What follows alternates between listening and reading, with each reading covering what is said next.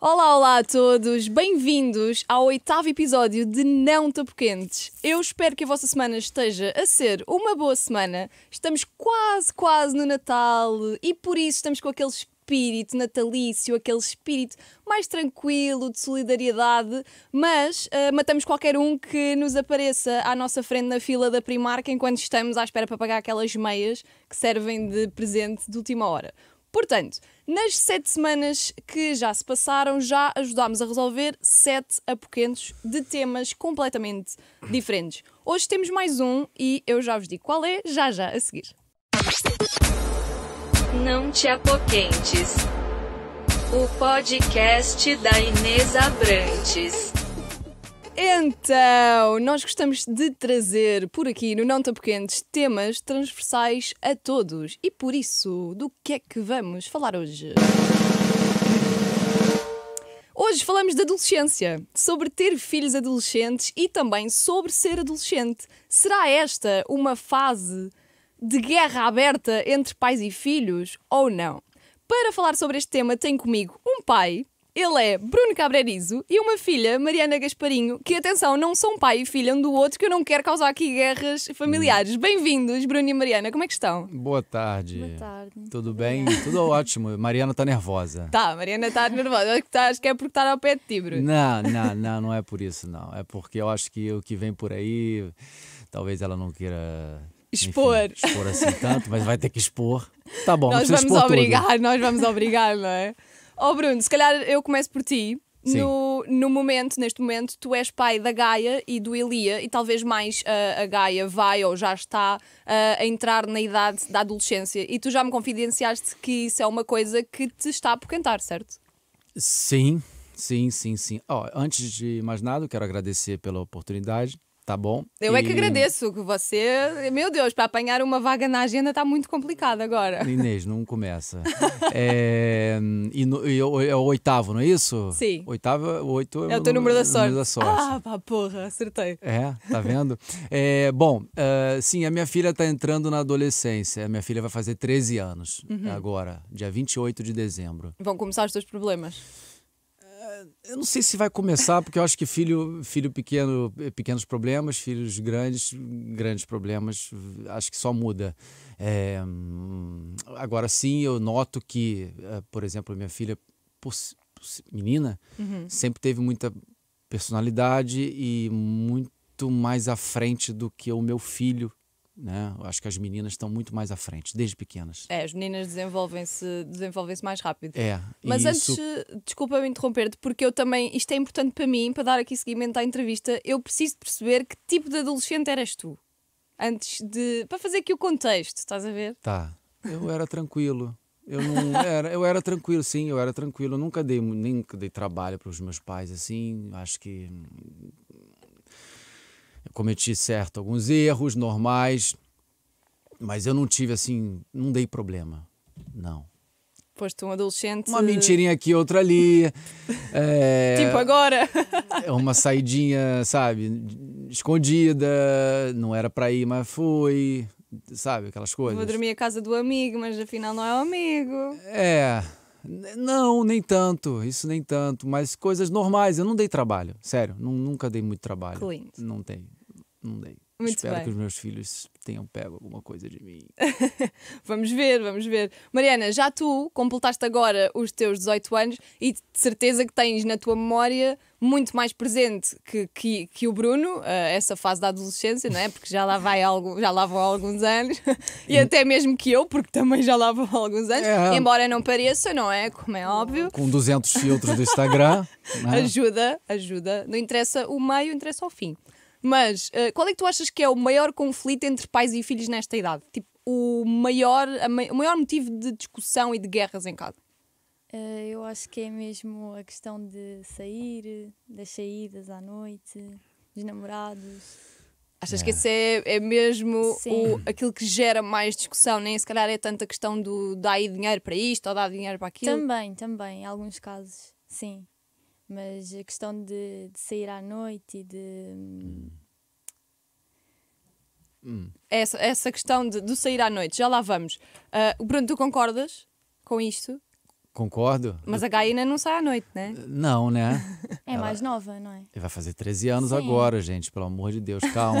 Ainda não está nessa fase. Começou a sair eh, com, a- com as amiguinhas para dar a volta durante o dia, aquelas coisas, sabe? Sai para tomar um sorvete, para comer um negócio e depois volta. Tem hora para voltar, mas não é hora para voltar à noite, é Claro. 4, 5 da tarde.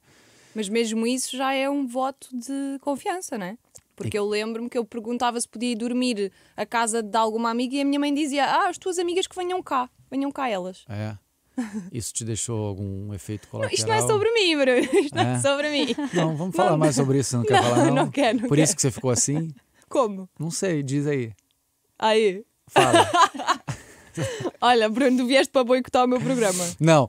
Pois, então, a minha filha, ela tá no início ainda, tá começando, a gente tá dando um voto de confiança, ela sai um pouquinho, a gente vai liberando, ela já tá indo sozinha pro, além das saídas, claro. Ela já tá indo sozinha pro balé, é minha, minha filha é Ah. bailarina, ela faz academia de balé. É, então ela sai da escola, acabei de, inclusive acabei de ligar para ela, ela já vai sozinha da escola pro balé. É, e começou agora, tem duas, três semanas isso, que a gente começou a dar esse voto de confiança, porque eu acho que faz parte e também por necessidade, né? Eu não sei vocês, mas, por exemplo, eu comecei a andar sozinho com 11 anos de idade. Tão tarde. Eu comecei para ir com seis meses. Inês, tu é, tu é muito exagerada, cara. É muito exagerada. Eu comecei a andar sozinha aos 11 anos. Aham, Não, mas olha, eu ia a pé da escola para, para a casa da minha avó com 6 anos. Isto é verdade. tá, e é o quê? 30 metros? Não sei quanto é que é da tua casa ao balé. Ah, é, é- é longe, é longe. acredito. É, Tem que pegar metrô, tem que pegar Ah, ok, ó- ok. ônibus, autocarro, traduzindo. É, então, assim, a gente já está dando voto de confiança, Uhum. ela está indo devagarzinho, aos poucos a gente vai soltando.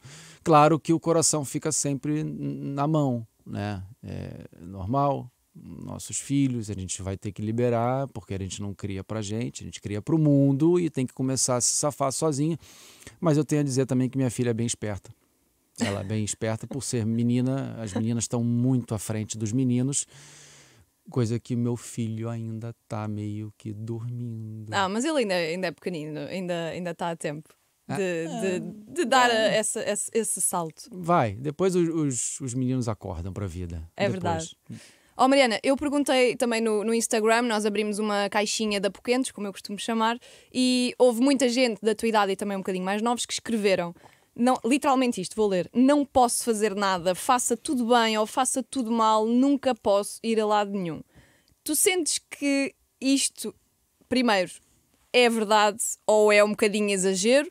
E também sentes que tudo muda quando fazes 18 anos ou é só um número? Eu sinceramente acho que é só um número. Não vão, as coisas não vão mudar de um dia para o outro por fazermos 18 anos.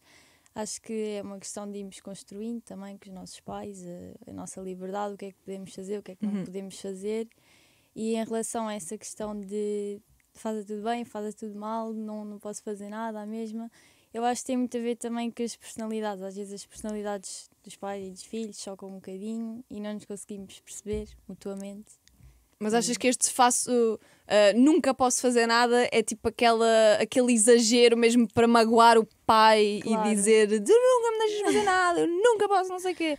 Que é para o pai Claro. sentir aquela pressão. Você já fez isso. eu já fiz, eu já fiz. Já fez. Você tem cara disso. Você tem cara disso. Eu, eu cheguei a chorar propositadamente. Nossa, que atriz. que drama. Oh, meu Mas Deus. a verdade é que os meus pais não me deixavam fazer muita coisa, também, também é verdade. Ah, Aham. Mas eh, lá está, depois eu senti que com 18 anos, é epá, agora já tenho mais um argumento, que é eu agora tenho 18 anos, já sou adulta. Mas depois vem aquela coisa do enquanto vives debaixo do meu teto. Sim, sim, sim. Já ouviste, né? Mas é verdade, mas isso faz sentido. Mas eu concordo com você, tá? Acho que realmente é um número, é verdade. Mas assim, é um número que no, no final das contas, maior de idade. É o que é. É, ela já pode fazer certas coisas porque ela é maior de idade, é verdade. Mas ao mesmo tempo eh, tem a questão de morar debaixo do mesmo teto. Né? Eu não sei se você já trabalha, Mariana. Você Sim. completou 18 anos, você tem quanto tempo? Ah, três ou quatro meses.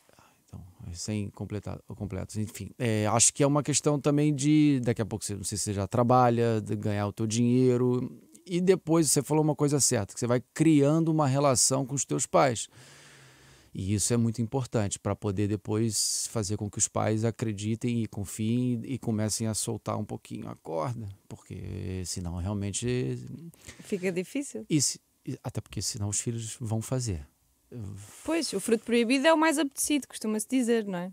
Você fez muita coisa proibida, Inês? Não, ai, não posso revelar. Ah, por que não? Porque se os meus pais estão a ver isto, Ué, depois fica mal. os pais da Mariana também estão assistindo. Mas a Mariana não está a dizer nada que a comprometa. Não importa. Eu não posso dizer que saí pela janela, por exemplo, morava no primeiro andar, eu- que eu- o primeiro cigarro que fumei roubei ao meu pai. Ah! Não posso dizer isto. Como é que é o nome do seu pai? Jorge. Seu Jorge. O senhor acabou de ouvir uma revelação muito importante da sua filha. Não briga com ela, não, porque ela já é maior de idade. Bem maior.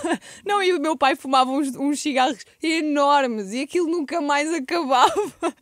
Aquilo era o Malboro gigante, ou o que é que era, já nem sei se existe, só- se existe, olha, e passa publicidade. E eu pensar, isto nunca mais acaba este cigarro. Pô, isso é mesmo mau. Tu tem muita coisa para contar. Eu tenho muita coisa para contar, mas, mas isto não é sobre mim. O que eu te quero perguntar, Bruni, aproveitando a, a deixa, qual é a, a tua maior preocupação, a- o, o- aquilo que tu tens mesmo medo que possa acontecer? Porque assim, hoje em dia tudo se resolve, não é?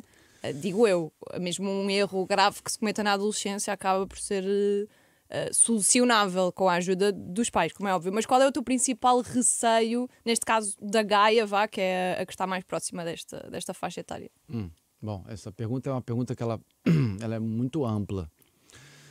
Ah, todo mundo erra. Todo mundo vai errar e faz parte do aprendizado para depois não cometer mais certas coisas. Mesmo que os pais tenham dito para não fazer, vai acabar fazendo e vai errar por si, né, por si mesmo. Ah, hoje tem uma coisa que me preocupa muito, que antigamente não tinha. Na minha época, e acho que na tua também. Ah, de certeza que não. Engraçadinho. Então estamos aqui três, quase três gerações, atenção. É, então, pronto, eu, é, que é internet. Uhum. Então, certas coisas, e eu já falei isso, já conversei com a minha filha, que é tome cuidado com a internet. Porque aquilo fica, fica, fica para sempre, né? E, e depois, com ah, no- esse fácil acesso dos jovens ah, à informação, a tudo, a qualquer coisa, você abre o telefone e você vê o que você quer ver. Isso é o lado ruim do, da tecnologia. E, claro, que o que você fizer de errado vai ficar lá. E não tem volta a dar. Não tem como resolver. É. Mariana, tu tiveste telemóvel com que idade? Lembras-te? Com, eh, foi quando eu fui para o quinto ano, portanto com 10 anos, penso eu. E 10 tu, anos. Bruno? Pois é, eu. eu telemo, telemóvel? Telefone, celular. celular? Celular. Celular. Tá com problema na língua? Não. Tô, eu sou do, do Rio. Você não, você é São do, Paulo. Você é do interior. Do interior. É. Eu tive celular com. Cara. Primeiro que na época tava começando a época do celular. Não era- precisa era- justificar, diz só a idade. Eu não lembro, sei lá, 18, sei lá, 19. 28. Não, vai, sei lá. Eu não era também, nem sou tanto assim tecnológico. Hoje eu melhorei, mas também eu demorei também a aceitar a tecnologia. Eu demorei a aceitar, por exemplo, ter acesso aos meus e-mails pelo telefone. Sabe? Coisas Velho. desse tipo. É, velha, você tá quase lá.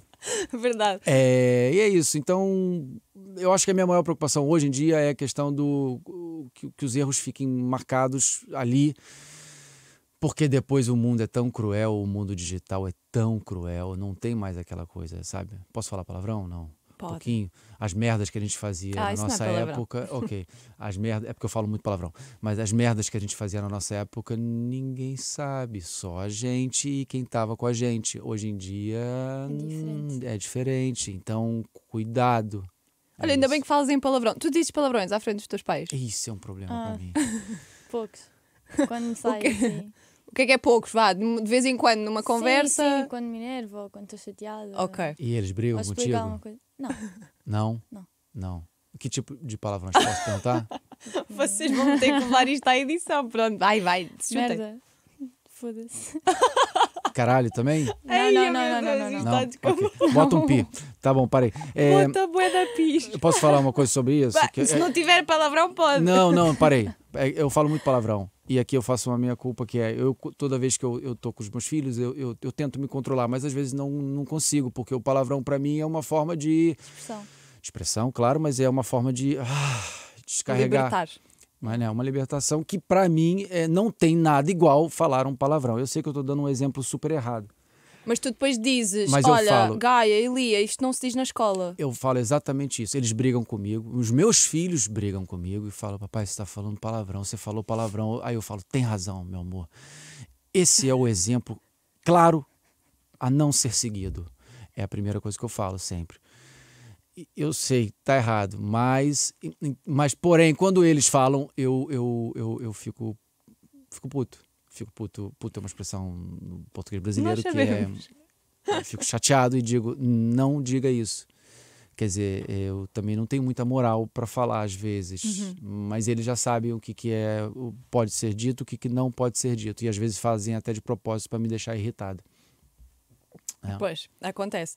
Mariana, eu também, nesta, nesta opinião, porque isto- este programa vive muito da- dos problemas que se vivem lá fora, não é? Porque são também eh, uma, um espelho daquilo que, que também são os nossos problemas. Ah, e nessa caixinha de, de apoquentos houve pais ah, a dizerem o meu maior problema são os amus, as respostas tortas, o início das saídas à noite, as drogas, etc. Mas do outro tenho esta questão também dos adolescentes que dizem o tal não me deixam fazer nada e tenho receio de contar sobre os meus namorados, etc. Pegando neste último ponto, o que é que tu achas que um pai ou uma mãe, não, é, não são necessariamente os teus, obviamente, fazem para provocar este receio de nós, adolescentes, ou dos adolescentes, não sei se me posso incluir, ah, para sentirem este medo de falar disto em casa. Porque isto é no- tão normal falar num grupo de amigos e depois chegas a casa e tipo, mudas aqui o chip. Porque eu acho que os pais impõem muito estas regras, dizem não podes fazer isto, não podes fazer aquilo, não sei o que, isto é errado. Depois, com medo de, de os desapontarmos ou de levarmos a reações que, que não queremos ou que eles nos proíbam de fazer certas coisas por acharmos que a opinião deles vai contra a nossa, muitas vezes é algo que não falamos com eles por conta disso. Mas tu achas que essa proibição é real ou está nas vossas cabeças, tipo, ah, eu não vou dizer porque senão vou ser proibida? Eu ou acho- isso acontece mesmo? tem muito a ver com os pais. Há, há pais muito mais liberais Uhum. que outros. Há pais que proíbem tudo e não falam com os filhos sobre nada. E eu acho que os pais que falam mais com os filhos são aqueles que depois os filhos vão querer contar mais as coisas aos pais e conversar e desabafar sobre tudo. Tu achas que, que tu concordas com isto, Bruno? Que quanto mais for o pai ou a mãe a puxar o assunto em casa, mais fácil é para haver liberdade para agir também nesse, nesse tema? Na teoria, sim. Na prática. É bonito, né? É, é, na prática depende, porque acho que vai de cada pessoa. Ah, eu não sei como é que a Mariana é, mas assim, eu vou falar pela minha filha, por exemplo. Minha filha é muito fechada. E eu tento falar. Ela não, às vezes, não fala, não quer. Ela já é fechada. É Ela é o jeito dela, é a personalidade dela. E aí é que tá. Não adianta também eu querer. Fala, fala, fala, fala. É pior. Aí eu tenho que dar o espaço para ela se sentir à vontade para falar. E aí, aí tem aquela outra coisa, que algumas coisas fala com a mãe, outras coisas fala com o pai. Não é? Não sei se você é assim também, Mariana, mais ou menos. Mais ou menos. Ok. O que falas com a tua mãe, falas com o teu pai? Ah, não. Eu, no geral, também sou um pouco como, como a filha do, do Bruno. Também és mais E fechada. sou mais fechada, sim. É. Não, não falo nem muito com um nem com o outro. Mas Então, falas do teu grupo de amigos. Sim. É, então, so- Sim. teus pais, desculpa te perguntar, desculpa nisso. teus pais sempre te deram abertura para falar? Ah, sempre puxaram conversa? Hum, nem sempre. Também acho que é um pouco por conta disso. É. É Sim. isso, isso na minha casa nunca aconteceu, por O- exemplo. O, quê? Sim. Puxar conversa? De- sobre sexo, iniciar a vida sexual, tomar a pílula, É. ah, essas coisas. Isso na minha casa nunca aconteceu. É, Aconteceu ah, quando eu puxei o tema. ok. Mas lá está, teve que vir, teve que partir de mim. E teu pai caiu do sofá, Quase. basicamente. falou, oi? Hã? Ele vai falar com a tua mãe. Esse clássico, né? É, Aí fala, fala com sua mãe que eu não tô me sentindo muito bem. Deve ter sido algo desse tipo. É verdade. Mas tu- então tu és esse tipo de pai que tu tentas puxar, mas nem sempre há a abertura da parte da Gaia. Sim, eu tento, eu já falo sobre certas coisas, eu estou introduzindo devagarzinho alguns assuntos, só que aí às vezes, por exemplo, quando eu falo cer- certas coisas, ela ela às vezes ela Ai, tá bom, papai. É, tá bom, tá já ouvi, sabe? Quer que eu pare? Mas lá está, já, já ouviu e se calhar ganhou Já, consciência, ou já, seja, não é já. uma coisa totalmente nova, porque se calhar ela nesta idade ainda não tem nenhuma dúvida, mas quando tiver, se calhar ela vai. Olha, papá, você lembra daquele assunto que nós falámos? Ela já sabe de muita coisa que, que provavelmente eu acho que ela não sabe, mas ela já sabe. Pois. né? Com tre- vai fazer 13 anos, vai, 13 anos com ela não tem ainda o acesso a ela, por exemplo, a minha filha não tem rede social. É, enfim, isso é uma questão minha e da mãe, eu, eu sou uma pessoa Mas pública. já pediu para ter? Já, lógico, porque os amiguinhos têm, entendeu? Mas aí eu acho que tudo tem seu momento. Ela já tem muito a, a semana toda ocupada. Se ela for perder tempo com rede social, porque perde-se muito tempo e aquilo ali vicia. Sim. Enfim, é, então a gente está segurando o máximo possível, mas isso é outra questão. Ela, ela, ela, ela recebe bem as informações. Ela, ela, ela ouve e com certeza ela já sabe de coisas Que tu se calhar não sabes. que eu cairia do sofá que nem o seu Jorge. É, mas é faz parte, a gente vai eu tô liberando, eu tô dando informações e eu sei que às vezes eu tenho que dar o tempo dela. Deixa ela e daqui a pouco ela vai vir falar. E também tem a outra questão. Como pai como mãe, eu, eu tenho uma boa relação com a mãe dos meus filhos, né? Nós somos separados e a gente conversa tudo. Eu falo, olha, conversa com ela sobre isso, toca nesse assunto, porque às vezes a, mãe tem mais facilidade por ser mulher, aí ela se sente mais à vontade por falar com a mãe. E aí eu só que aí tem uma outra questão, a gente vai nos amigos, né? A gente dá a volta, porque a gente às vezes não sabe diretamente, porque o filho não fala tudo, Pois. e a gente vai nos amiguinhos. E aí às vezes a gente fica sabendo. E pronto, é, a gente tem que buscar algumas A informação tem que vir de algum sítio. de algum lugar, Claro. não é? Ó Mariana, tu. ah, duas perguntas. Com que idade é que tiveste página de Instagram, se te lembras? Foi na mesma altura. Ah, de Instagram, na altura Uhum. era Facebook. É, já estás velha, ô, Mariana. Já, isso já evoluiu. Você então, idosa. Agora Foi penso. na mesma altura que tive telemóvel. Aos Por 10 volta anos? dos 10, 11 anos, sim. Ok. E isso foi uma coisa que con- concordaram lá em casa.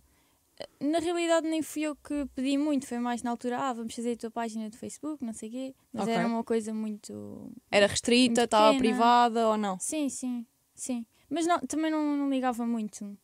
Tipo, Uhum. tinha para ver as publicações e não sei o quê, mas não, não se falava muito por aí com os amigos nem nada disso.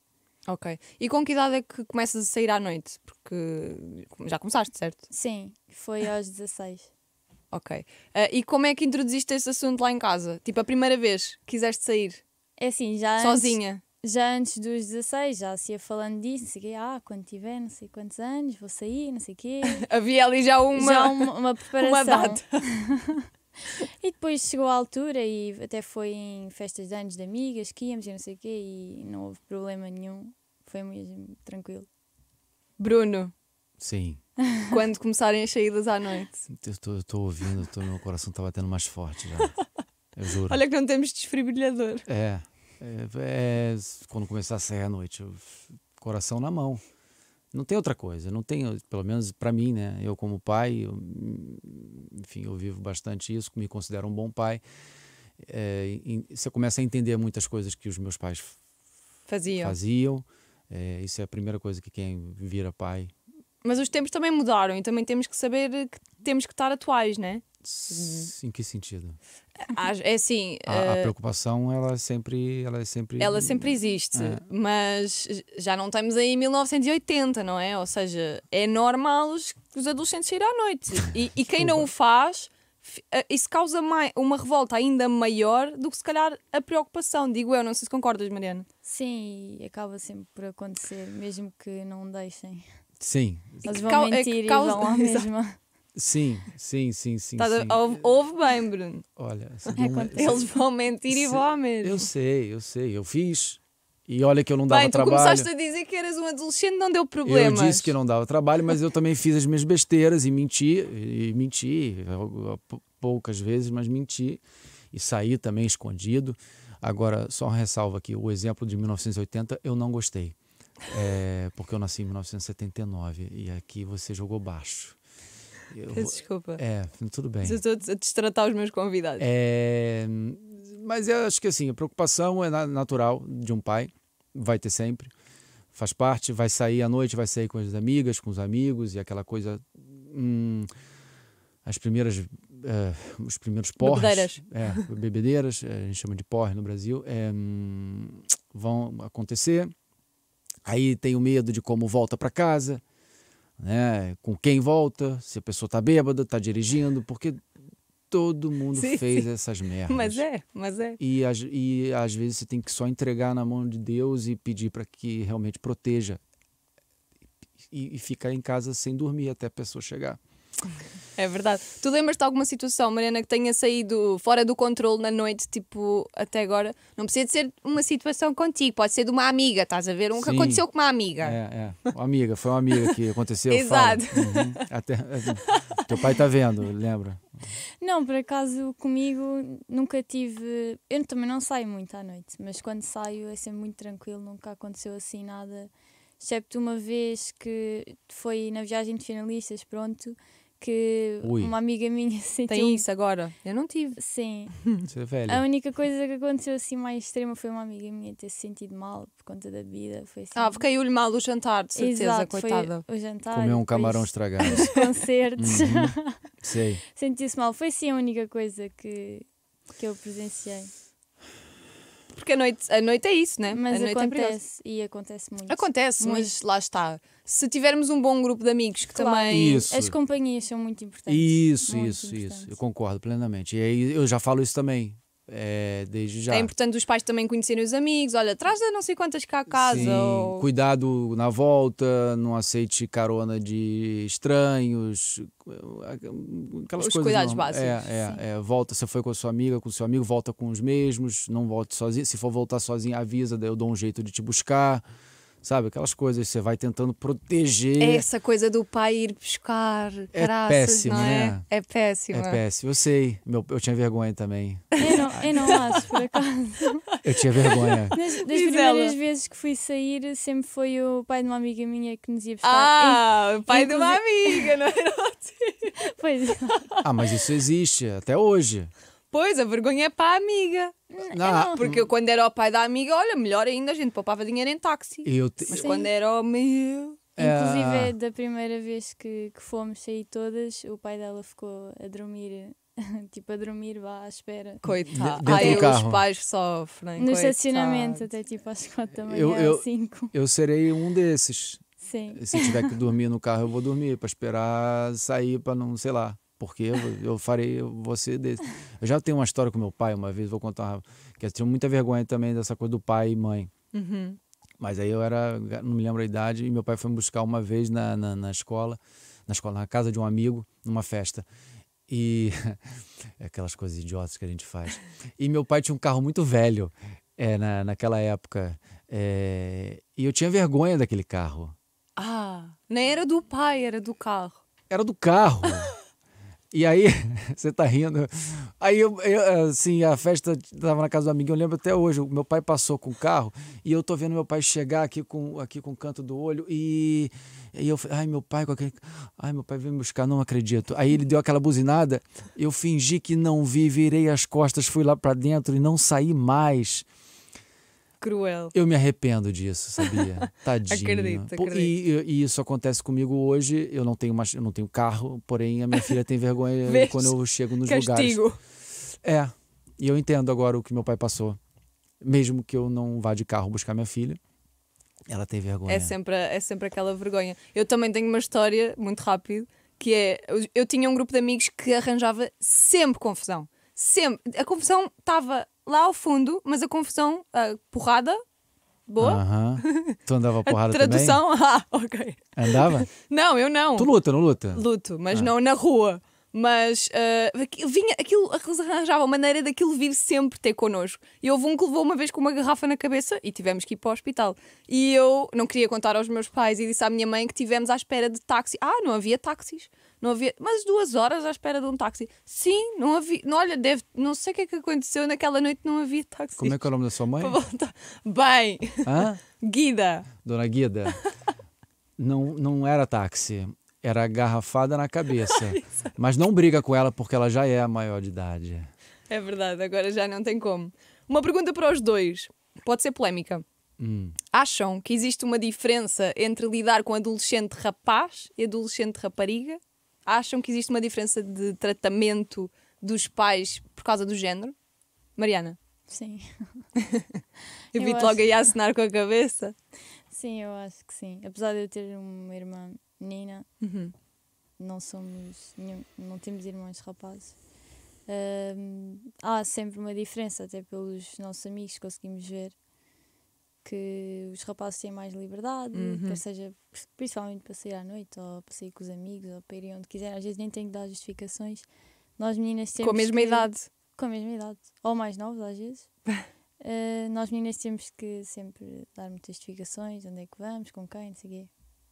Bruno, tu tens um casal, és a pessoa indicada para responder a isto. Hum, é, essa é uma boa pergunta. Eu acho que sim, tem diferença. Tem. E hum, vou falar por mim, né? Talvez na casa dos outros tenha machismo, Uhum. por machismo, eh, sistema patriarcal e enfim vai entrar num lugar mais, Deep. mais é.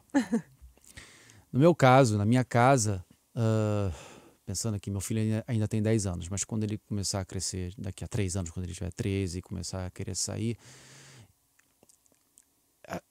talvez tenha um- uma preocupação maior as, os conselhos serão os mesmos Mas o nível de. mas a preocupação maior é, é com maior é com ela. com ela.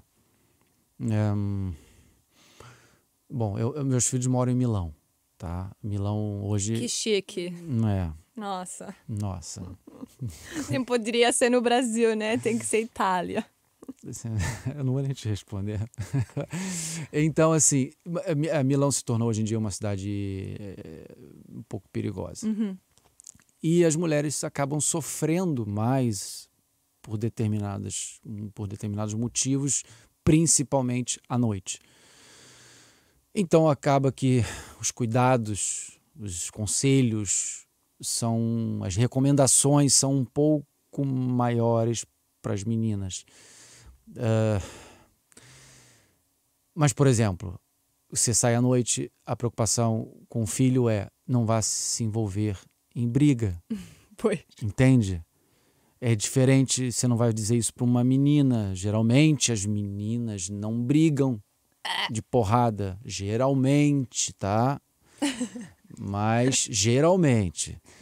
Então assim, eu acho que é tem ali uma pequena diferença, mas eu acho que sim, que talvez tenha uma, uma, umas recomendações um pouco mais um pouco mais para as meninas. Não sei, bem. preocupação. Eu percebo, eu percebo. Foi por isso que eu fui para o kickboxing com 15 anos. Inscrevi-me no kickboxing que é para aprender a lutar. Mas é, é, porque a gen- o que a gente vê hoje em dia eh, de, de, de, de, de casos de, de, de estupro, de. Sabe? É sempre mais um atentado ao género feminino do que ao género Sim, masculino. de feminicídio, sabe? De, de colocar coisas nas bebidas das mulheres para depois se aproveitarem, que, o que eu acho isso uma loucura, um, mas existem pessoas muito mais no mundo. Pessoas doentes que fazem Certo. Essas merdas. E, Não, assim, isso vê-se pelas redes sociais. O tipo de mensagens que uma mulher recebe e o tipo de mensagens que um homem recebe não tem nada a Sim, ver. E acontecem casos diariamente de, de, de, de- abuso sexual, de feminicídio, de coisas desse tipo, atrocidades que com os homens não acontecem. Acontecem talvez outras coisas, sabe? Brigas e, enfim, e coisas até feias, né? Mas se calhar menos grave e traumático no futuro. É, então, não sei. Não é machismo, mas acaba sempre tendo um cuidado maior com as meninas. Não que elas sejam mais frágeis, atenção. Exato, exato. É o nível de preocupação. É, Exatamente. a mulher não é frágil, não tem essa coisa. A mulher é, aliás, pelo contrário, as mulheres são têm muito mais ah, balls do que os homens. Então é só por isso, sabe? Sei. Mariana, estamos mesmo a terminar, mas antes eu gostava de vos lançar um desafio aos dois, que era Bruno, tu fazias aqui um dia de dica. Um, ai, um dia, não estou bem, internem. Uhum. Tu fazias um guia de dicas para um filho ou uma filha facilitar a vida aos pais e tu fazias o contrário, Mariana. Um guia de dicas, três dicas, cada um, para ah, um pai ou uma mãe facilitar a vida aos seus filhos. Quem é que quer começar? Por favor, ajuda-nos. Que é para o Bruno ter tempo para pensar. Ah, então, a primeira. Três coisas que para ti são mesmo essenciais para manter a paz em casa. Que um pai ou uma mãe faça. Vá. Certo. Então, eu acho que o, o primeiro seria ouvir mais, Uhum. em vez de. Tanto para os pais como para os filhos, mas pronto, virado mais para, para os pais. Ok. Ouvir os filhos com atenção ah, e com- tentar compreender, sim, antes de começar a ralhar ou discutir ou Uhum. Ok. Não tentar impor logo a vontade deles Exato, antes de ouvir exato. aquilo que vocês têm para dizer. Sim. Mais uma dica que te lembres. Uma coisa que- assim prática do dia a dia. Sim, de repente. Agora pode ser o Bruno. Pode, pode. Ah, é esperta, a Mariana é esperta. Chuta. Ela soltou a primeira e falou: agora contigo, deixa eu pensar. Olha, primeira coisa, não mentir. Oh, Bruno, mas às vezes. Eu sei, mas tem mentiras e mentiras. Sim. Chamadas mentiras piadosas valem. É, ok. Eu menti também, eu sei. e- mas, ah, acho, ah, enfim, não mentir. É, primeira coisa. Porque você não perde a. Uma coisa é a mentira branca, Tá, tá? tá. É. Daqui- do táxi. Do táxi. né? É, outra coisa é a mentira, a mentira, aquela mentira compulsiva. Pois, exato, que isso depois torna-se um hábito. Depois às Sabe. tantas já nem nós sabemos bem o que é que é verdade e o que é que é mentira. Exato, porque aí perde credibilidade e qualquer coisa que se eu descobrir, é o que eu falo sempre, eu já, eu já digo desde já, não minta pra mim. Porque se eu descobrir, vai ser pior. E eu não vou mais acreditar em você. E aí vai ser ruim. Sim. Minha mãe sempre me disse isso. É. é. Tá vendo? Agora é contigo. Vai. Coisas que ficam para a vida. Mais uma dica. Ahn, eu acho que em questão da a questão da, da liberdade, dar, dar liberdade, mas também correspondente àquilo que, que depois recebem em termos de Responsabilidade. responsabilidade e Uhum. comportamentos e até a nível da escola também. Ok. Que é, que é basicamente o que eu já tô fazendo. Olha, eu já me auto. tô fazendo. ah, o que eu, eu acabei de dizer isso aqui, que eu tô, tô soltando a corda. Sim, Exato, já é vai a isso. pé para o balé. Ufa, ufa. Agora tenho que começar a a ir a pé para o kickboxing. É. é, Eu já sim. incentivar.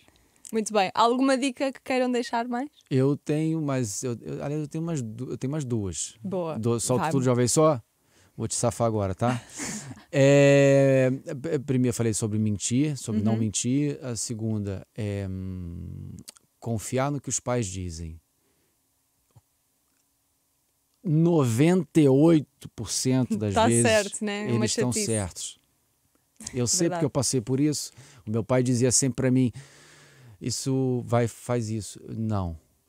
É, mas não vou fazer, de ser chato, não vou. Quero. É chato, chato, chato. Ah, mas é que às vezes é chato. eu sei, eu sei, mas os pais são chatos no final das contas. E, hum, você vai ser chata. Isto vai ser o resumo do teaser do episódio. Os pais são chatos e você é chata. Mas não, você vai ser chata. Ah, disse. você vai ser chata. Peço É, desculpa. Quando já. você for mãe, eu quis dizer.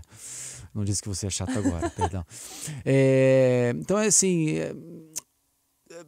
Confiem no que os pais dizem. Eu sei que é difícil, eu sei que é difícil admitir na hora, porque a gente está sempre. Eu também fazia isso. Ah, tá certo, tá bom, você tá sempre certo. Ah, saco. Aí fazia do jeito que eu queria, corta para. Acontecia o que meu pai falava. ou minha mãe Pois, falava. pois, pois. E aí eu comigo mesmo dizia, eles tinham razão, sabe? Mas eu não admitia depois pessoalmente. Claro, nunca, nunca. Não. Só muitos anos mais tarde. Não, é, é. E aí isso para mim é algo que me eu trouxe para mim. Então, sabe, confiem, porque eles têm razão. Não precisa dizer na hora que, que vai fazer, mas acredita que vai acontecer. Última dica. Última dica, é, hum, respeito. Uhum. Respeitar os pais. Mútuo, no fundo, né? Sim. Sim, claro, o respeito é mútuo, claro. É, às vezes, claro, também os pais também perdem o respeito. Pois. Né? Eu também já acabei errando e perdendo o respeito, brigando de uma maneira um pouco mais. eh, É isso que a Mariana também dizia. Há Incisiva. pais e pais, e, e tu, como disseste há pouco, eu considero-me um bom pai, mas efetivamente os pais também falham, não é? ah, eh, não tem manual, né? Filho não vem com manual. Onde você fala, ih, tá, começou, cho- tá chorando por birra. 3.1, abre a página, o que, que eu faço? não. Não tem. E aí cada pai, cada pessoa teve uma educação, Uhum. cresceu de uma forma, numa família assim ou numa família assado. O que, que ele traz? O, o aprendizado dele para os filhos. Claro, tem coisas que aconteceram na, na minha vivência que eu não quero fazer com os meus filhos. Mas Claro. tem coisas que eu vou fazer porque por erro, porque não tem manual e você acaba errando, por circunstâncias da vida, por, pelo momento, o que, que o pai e a mãe estão passando naquele momento. Depende de muita coisa. Estão passando por uma crise financeira em casa, Ou mesmo entre os pais. Também entre os acontece. pais, brigas entre os pais. Eu sou pai, eu sou separado. E eu sei muito bem que a gente está muito melhor separado do que quando estava junto. Isso também é muito, é muito importante ter essa, essa consciência. Entende? Então isso tudo, claro, que depois acaba levando para a educação dos filhos, entende? E Entendo. não é porque a gente quer. En- Entendes? Entendo, entendo. Entendeste? Olha, o meu Entendi. português de Portugal está perfeito. Olha, Então é isso. estamos mesmo, mesmo no fim. Mariana, tu começaste agora a trabalhar, tens um pequeno negócio de unhas, corrijo-me se estiver errada. Sim. Queres deixar o nome da tua página de Instagram? Sim, é o mari.one underscore studio. Muito bem, depois também podem, podem perguntar nos comentários que nós deixamos. Bruno, tu vais iniciar um grande projeto. Vou iniciar. eh, Dois.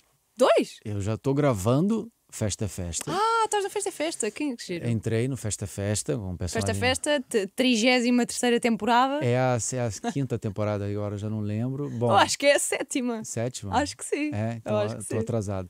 É, sim, é um grande sucesso. É um grande sucesso. Qual o é a tua personagem? Gabana Júnior.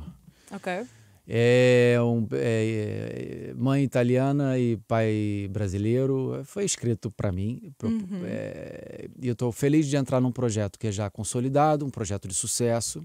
E, falam muito bem sobre a energia da equipa desse projeto. Sim, sim, sim. Todo mundo se dá muito bem.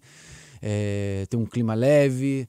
Ah, muitas vezes saem mais cedo porque já estão tão cons- amalgamados, ah, azeitados, como vocês chamam. Engrenado. É, É, é. o que quiseres. Ok. que quando liga a câmera, eles vão em tu, tu, tu, cena. Troca. Isso é muito bom. Então, saem mais cedo quase todos os dias. E eu entrei com esse comboio na minha frente, passando, e eu tenho que. Tens então, que apagar. tá sendo um grande desafio. Primeira vez que eu entro num, num, num projeto assim, no meio. E ao mesmo tempo vais estar a fazer dança com as estrelas. Sim. Portanto, estás cheio de trabalho. Sim, vou fazer você o co-apresentador do programa. Eu co- gosto, eu gosto o desse co. co-apresentador. Eu gosto porque me tira a responsabilidade. Porque eu não sou bobo, eu sei que vai ter muita pressão em Já cima. tá a ter, né? Já Já, tá tá ter. tendo, já tá. é, as pessoas Você gostam. está de tá lidando bem? Eu li- Vocês não gostam que os portugueses façam isto, né? Não, eu não ligo. Eu, tô- eu acho, eu acho bonitinho. Você tem um sotaque meio baiano. Mas é. hum, Então, tô lidando super bem. Eu, eu, eu gosto de pressão. Eu sou ex-atleta. Quanto mais pressão eu tenho, mais eu rendo. Entendeu? E ser cu-apresentador é muito bom. Cu apresentador. É, né? É, é, o- É o apresentador que está por trás. Cara, essa piada foi ótima. Dá, dá aquela, dá o Obrigada, efeito sonoro, dá o efeito sonoro da bateria. Não, é não tenho aqui. Mas pronto, sim, serei o co-apresentador de um programa de sucesso, 10 anos de dança, dança com as Uhum. Com Cristina estrelas, Ferreira, com a Cristina Ferreira Que te vai ensinar a dançar, já ouvi dizer. Ela vai me ensinar a apresentar, a Ok. dançar. Eu tenho dúvidas. Ela odeia quando eu falo isso. E É isso vai que vamos, vamos ter que ver. De estreia dia? Ahá! Ah, não podes dizer. Não Ah, dizer. pá, poça, pá, fogo. Não posso. E agora? Eu, eu, eu, eu não sei guardar as coisas pra mim. ok. É, não posso dizer. Tá bem. Mas pronto. assistam, assistam, porque vai ser bem legal. São 10 anos de programa. Uhum. E, e a gente tá, tem várias surpresas e pronto. Posso falar mais? Não pode falar mais, senão és despedida antes de começar. Exatamente. Meus queridos, muito obrigada, Bruno e Mariana, por terem estado aqui connosco a falar também sobre este tema. Espero que tenham gostado. Obrigada mesmo por, por terem estado aqui. Nós voltamos para a semana com mais um Apoquento. Estamos na reta final do ano, eh, mas para o ano vamos cá continuar a resolver eh, apoquentos semanais. Um beijinho aos dois e obrigada. Obrigado a Obrigada. você. Foi ótimo. Não te apoquentes. O podcast da Inês Abrantes.